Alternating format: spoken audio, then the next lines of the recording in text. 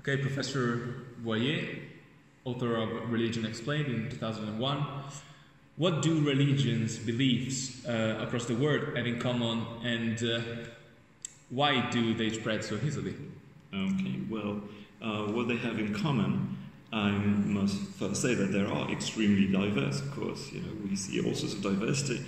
One um, of the major kinds of things that they have in common is that they all postulate the existence of agents.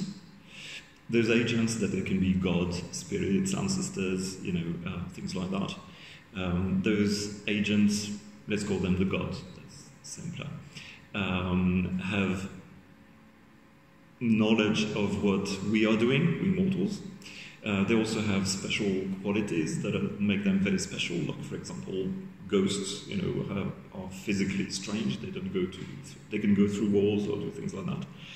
Gods are everywhere at the same time, or um, you know, all sorts of properties of this kind. And, and one main uh, characteristic that we find in almost all religious traditions is that those agents are not just strange and special in that way, they also have a mind, and that mind happens to be very, very similar to human minds. So, for example, they have memories, they have intentions, they want things, and if they want those things, they want to go through the means to achieve those goals. Um, and these are properties that we find absolutely everywhere. Now, the question why this is widespread the world over, um, that's the major question that psychologists of religion and cognitive scientists of religion are trying to answer. So it's not like we have the definitive answer. But what we think is that there are all sorts of conditions that uh, make those beliefs very easy to acquire and very easy to transmit. And basically, we have these beliefs because of the way our normal human, human minds work. Uh, we are disposed to think of agents all the time. Agents are the only thing that matters in our existence because we depend on other uh, people, on other humans. Um, but also, um, probably the fact that those agents are construed as or conceived as agents with very special powers uh, makes them both arresting, interesting, attention grabbing, on the one hand, which attracts people's attention, uh, but also the fact that they have normal minds make them very good explanations for all sorts of things that happen to us, and also make it very difficult, very sorry, very easy to interact with them. Because if they have a mind, we can, for example, offer them sacrifices and they will be well disposed towards us. Uh, if they have a mind, they will remember that we did that. Uh, if they have a mind, they will see that we are making efforts to be, you know, better than other people and things like that.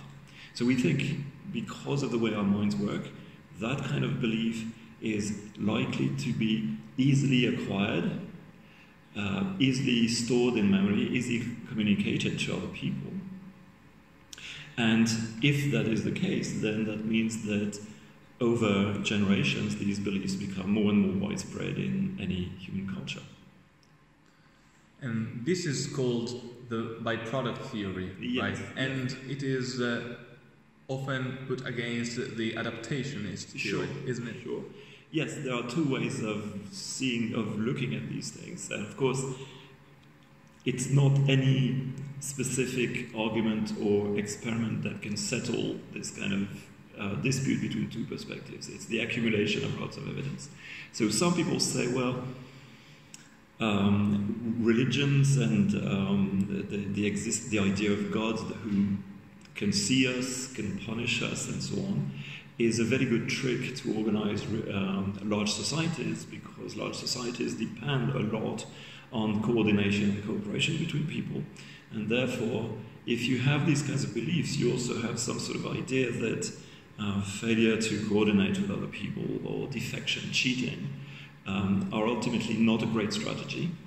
So that's the a sort of uh, very simplified adaptationist theory.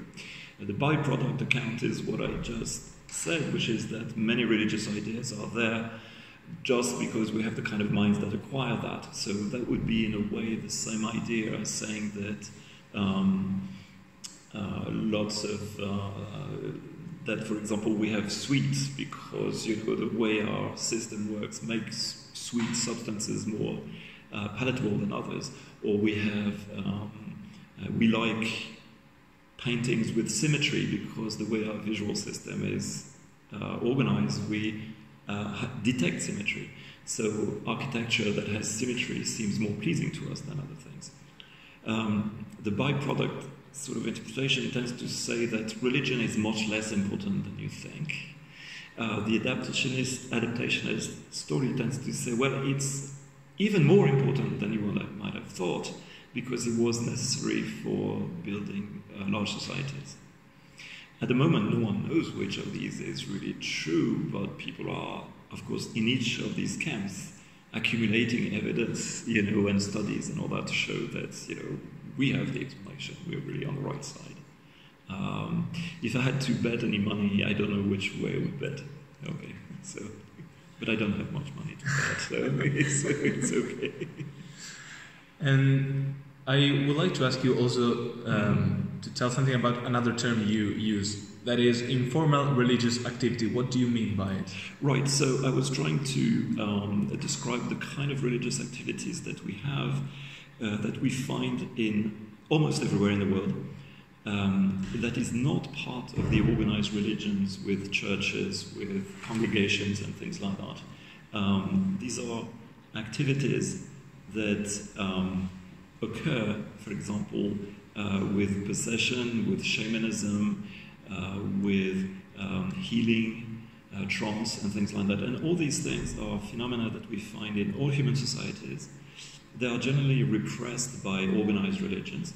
And they're also very likely the kind of religious activities that we had, we humans had, before we had large societies and before we had organized religion.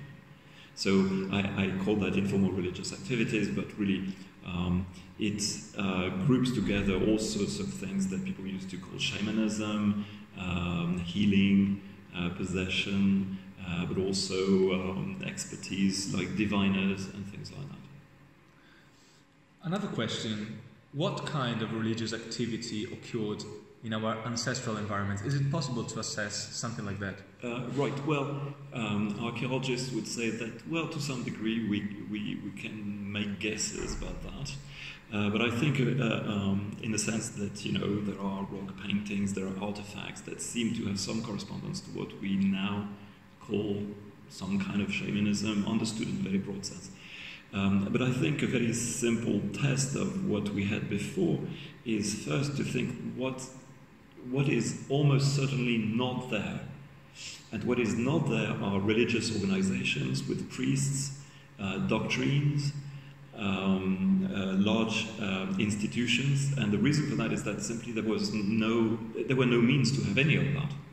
So what we find in all societies that have small-scale tribal organization is we find these kind of shamanism-like activities or ancestor cult, which are very local uh, activities. There are no large, powerful gods, but local spirits and ancestors.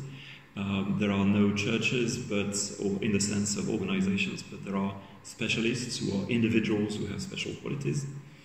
Um, and also, the main difference is that the focus of all those, those activities is pragmatic. It's always to address misfortune or to make sure that misfortune does not happen. That's the only point.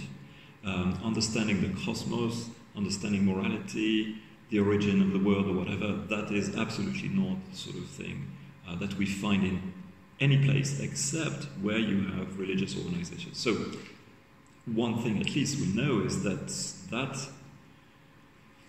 kind of combination of doctrines, priests, things like that, that did not exist. And by default, what is left is the informal kind of religion. But of course, we can't be sure.